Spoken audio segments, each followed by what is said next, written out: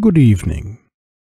On behalf of the staff at the Friedrich von Junzt Library of Forgotten Worlds in Dusseldorf, welcome, and thank you for listening to tonight's broadcast. My name is Lector Finn J.D. John, Master Librarian at the von Junzt Library's Corvallis branch. It is good to have you with us tonight. Tonight we will be reading Chapter 6 of A Princess of Mars by Edgar Rice Burroughs. But first, I must continue the tragic story of the founder and namesake of our library of sinister and forgotten lore, of our own martyr to man's thirst for knowledge, the late lamented Friedrich Wilhelm von Junzt. In telling these well-worn tales, I again crave the indulgence and forgiveness of our long-time listeners who have tuned in to our signal, broadcast from the aerial atop the Great Stone Tower in Dusseldorf since we first went on the air in 1924.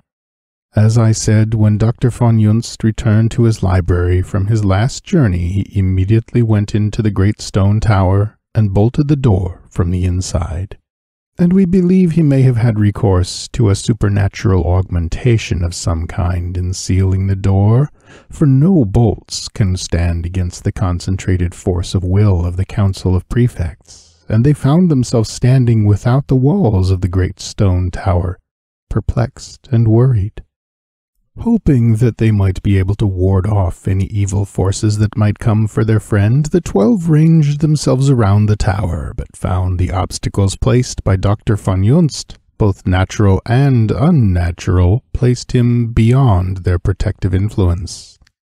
And so when the forces came to take Dr. von Junzt, they could only lurk.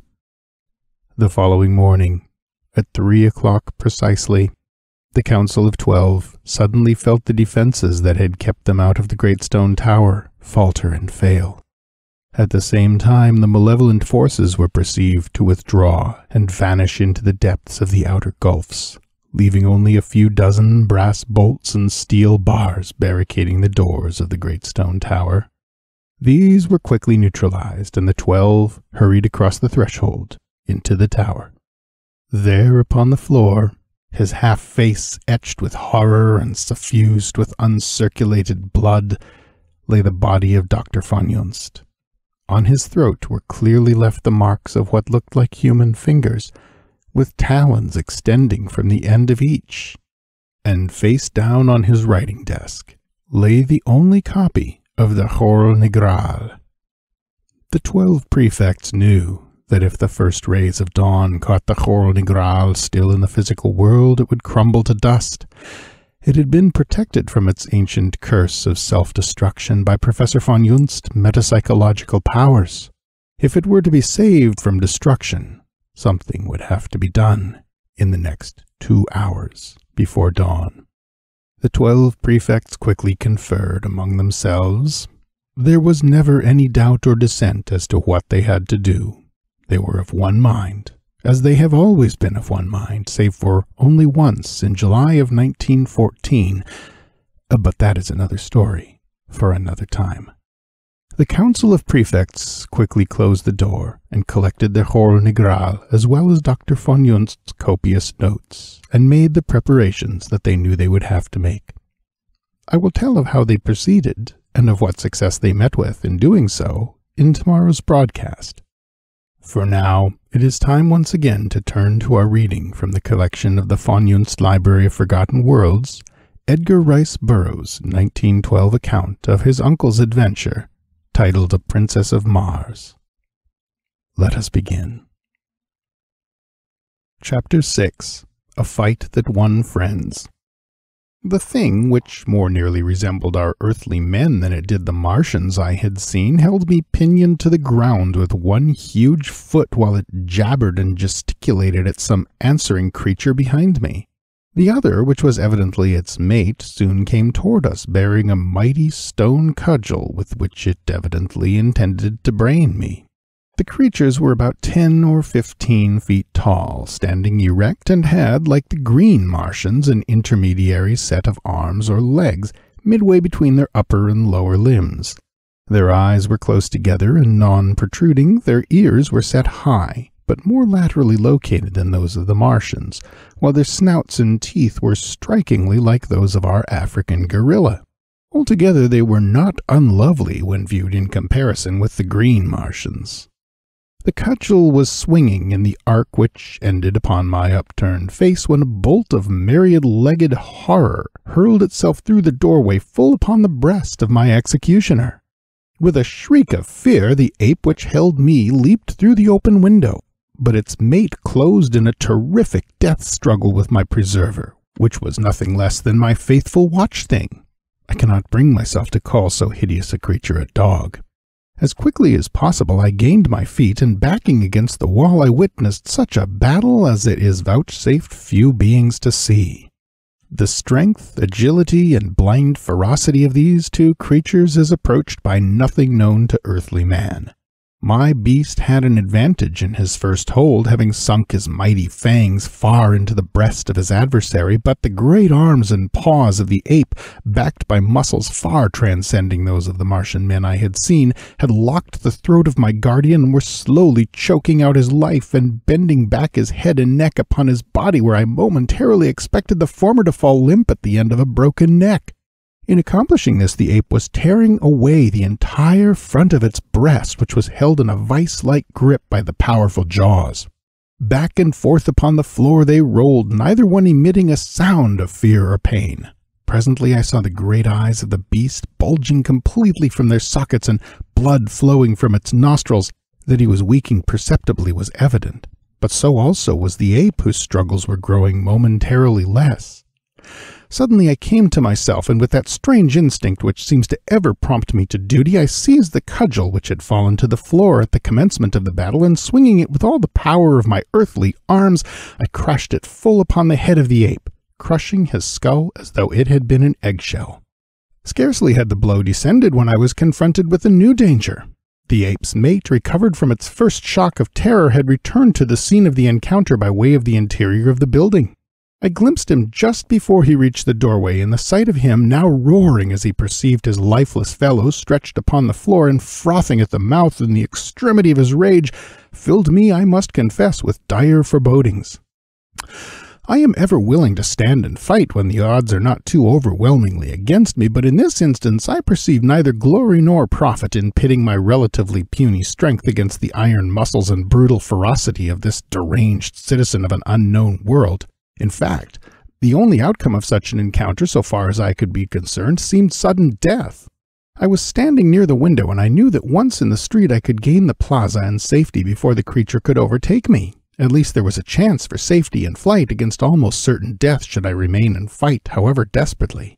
It is true I held the cudgel, but what could I do with it against his four great arms? Even should I break one of them with my first blow, for I figured he would attempt to ward off the cudgel, he would reach out and annihilate me with the others before I could recover for a second attack. In the instant that these thoughts passed through my mind, I had turned to make for the window, but my eyes alighting on the form of my erstwhile guardian threw all thoughts of flight to the four winds. He lay gasping upon the floor of the chamber, his great eyes fastened upon me in what seemed like a pitiful appeal for protection.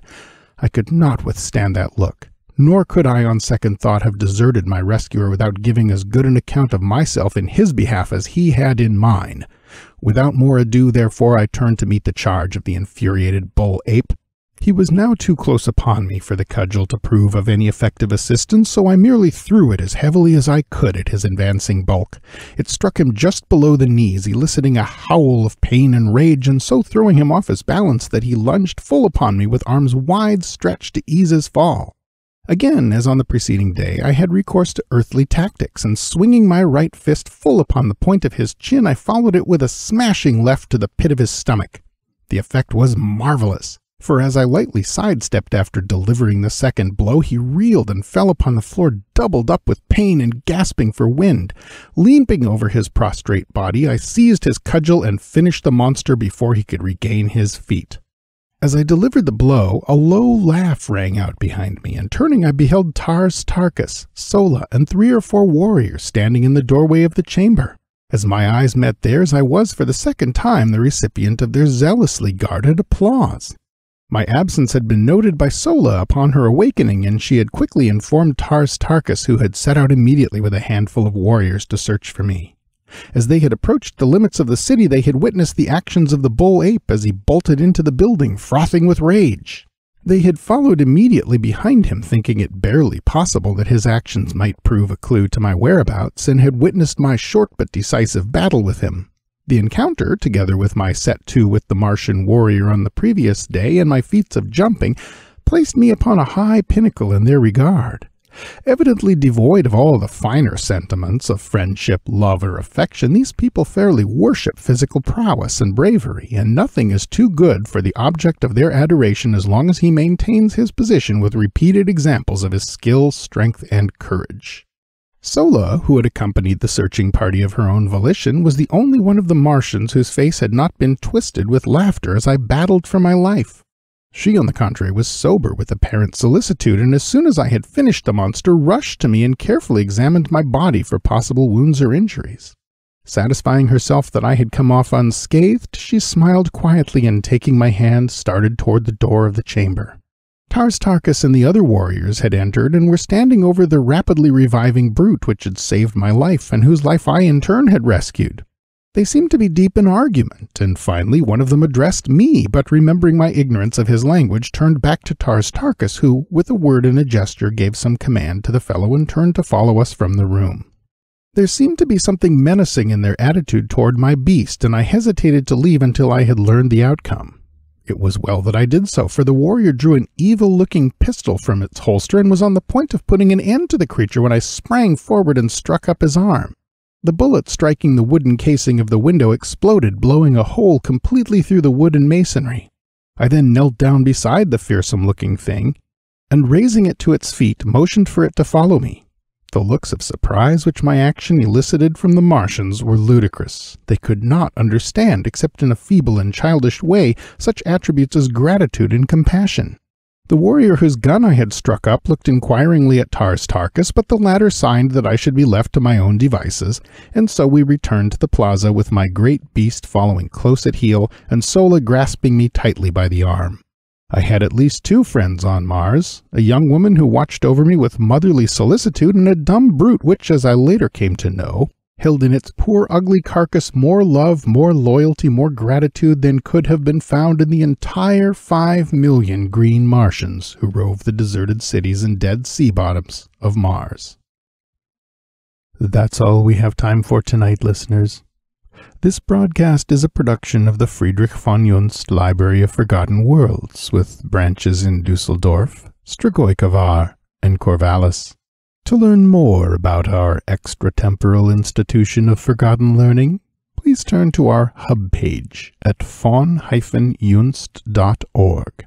Or if you prefer to visit in person, simply come to Dusseldorf on a clear moonless night, rent or purchase a small skiff, and silently paddle north on the Rhine until you see the great stone tower rising from its eastern banks. One day soon I will tell our newer listeners why this elaborate visitation ritual is necessary, although it will be more clear after tomorrow night's broadcast. Thank you once again, listeners. Good night, and as always, I wish you tantalizing